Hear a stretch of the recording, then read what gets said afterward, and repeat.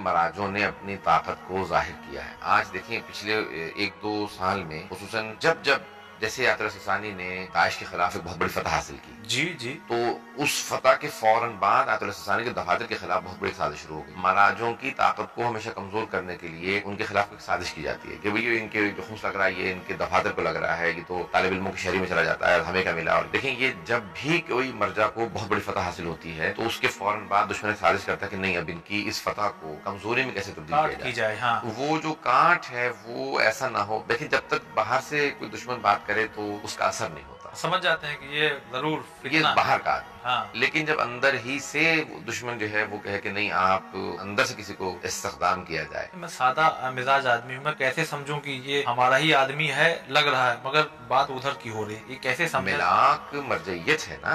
गैबत इमाम हमारी इमाम जमाना तक रसाई नहीं है। सही। तो इमाम की गैबत में जो इमाम की नुमाइंदगी कर रहे हैं या इमाम मराज इज़ाम जो। है जो इमाम की खिदमत कर रहे हैं इमाम ने कहा है कि हमारे शिया जो है वो जैसे एक चरवाहा होता है वो भेड़ियों से बचाता है। जी जी। तो जो उन भेड़ियों से बचा रहा है अगर कोई उसी को जेर सवाल ले आए उसी पे हमला करने लगे तो इसका मतलब है कि ये किसी दुश्मन के हाथ में खेल रहा है। सही सही